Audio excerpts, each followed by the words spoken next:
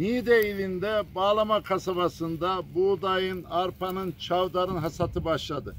Kuru tarım yapılan bölgede üreticilerimiz bu yılki alım fiyatlarından memnun değiller.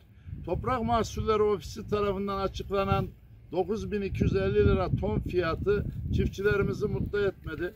Mutlak surette buğdayın revize edilmesi ve en az 15 bin lira ton fiyatının çıkarılmasını istiyorlar. Çünkü girdi maliyetleri çok arttı. Şimdi yanımızda bölgenin çiftçileri var. Ne durumda üretim? Sayın Vekilim, üretim şu anda eken de zarar ediyor, satan da zarar ediyor bir türlü. Çünkü mahsul para etmiyor bu paralara. Güneşin alnında millet yanıyor görüyorsun. Yapacak hiçbir şey yok. Elimizden gelen neyse onu yapacağız.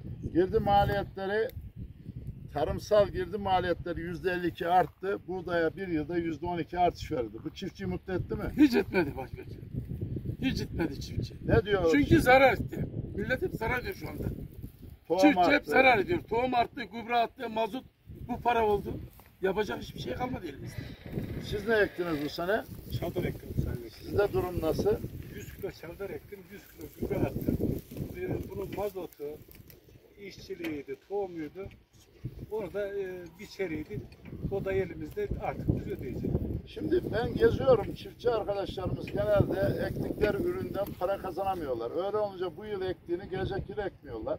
Sizlerin burası bir de su yok burada. Kuru tarım yapıyorsunuz. Bu yılda kısmi olarak kuraklık da etkiledi. Evet. Önümüzdeki dönem ne yapmayı düşünüyorsunuz? Ne olacak böyle? Sayın Vekilim, çalışırken kaybeden herhalde tek millet biziz. Çalışmamak gerekiyor, gidip bir ağaç altında yatmamız gerekiyor. Başka yapacak bir çare bırakmıyoruz. Yani buraya harcadığım parayı faize versem daha çok Evet, para kazanırım Evet. diyoruz. Yani çalış, çalışıp da kaybetmektense çalışmadan götürüp herhangi bir bankaya faize koysam daha fazla kazanırım. Şu anda biçer düğerleri tarlada görüyoruz. Ee, biçim şu anda çalışıyorlar. Geçen yıla göre örneğin biçer düğerdeki fiyat artışı var mı? Arkadaşlar geliyorlar Evet. bölgede. Ne kadar? Yüzde yüz var başkanım. Peki transfer masraflarınız, amortisman giderleriniz de arttı. Tabii, bir de onlar var üstelik arttı. O yüzde 180 arttı. Yüzde 180 arttı. Yüzde 180 Vekilim mazot 27 liraydı geçen sene. Şu an 46 lira. Doğru mu arkadaşlar? Doğru. mazot. Bütün girdi maliyetlerinde yüzde yüze yakın artış var ama ürettiği üründe sağladığı gelir o kadar artmadı. Doğal olarak yurt dışından ithal ürün de geliyor. Yılbaşından bu yana 3,5 milyon ton e, yurt dışından buğday ithal etmişler. Diyorlar ki hasat döneminden sonra hasat dönemi bitinceye kadar da ithal gelmeyecek.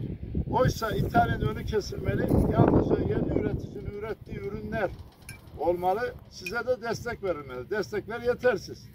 çok fazla. Şimdi mazota 16 milyar tüm tarım kesimine destek veriliyor. Ama vergi ÖTV ve KDV olarak 43 milyar alınıyor.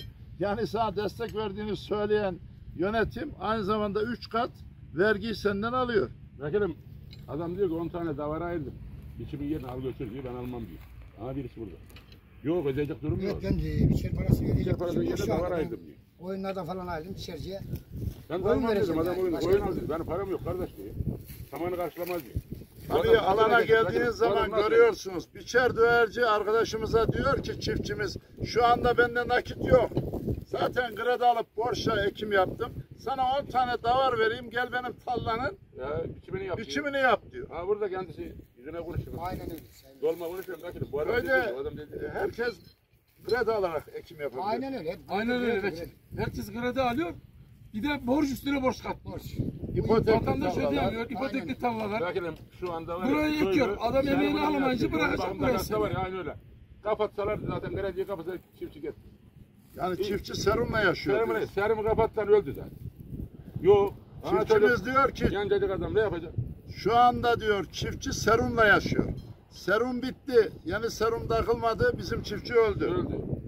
Bu kadar net. İçinde bulunduğu koşullarda üretimden kazanamayan çiftçilerin dertlerini yerinde dinliyoruz. Sorunlarını aktarıyoruz, yetkililere sesleniyoruz. Orada masamınızda otururken gördüğünüzde alana geldiğiniz zamanki manzara aynı değil. Çiftçi gerçek anlamda zor durumda.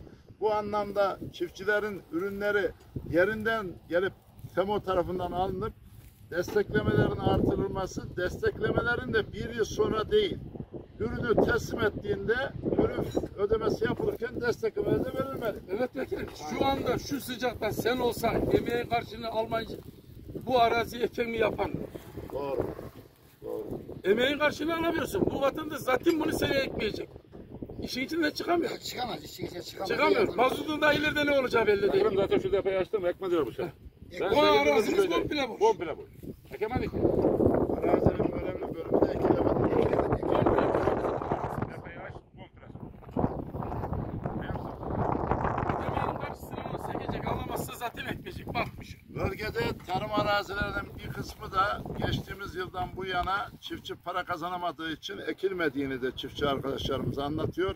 Biz yerinde geliyoruz, yetkililere bildiriyoruz, uyarıyoruz. Çiftçinin durumu iyi değil. Çiftçimize mutlak surette destek sağlayın. Gübreyi supanse edin. Mazotlu öteveyi kadeveyi kaldırın.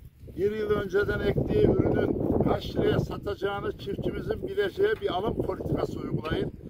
Kamucu bir anlayışla sorunlara yaklaşın. Gübrenin, tohumun, ilacın, mazotun, traktör giderinin, içeride giderinin arttığı yerde tarlada kiralıksa para kazanması şansı çiftçimizin zaten yok. Bu durumda çiftçi daha zor durumda. Onun için de yetkilileri alandan uyarıyoruz. Sayın Vekilim, geçen yıl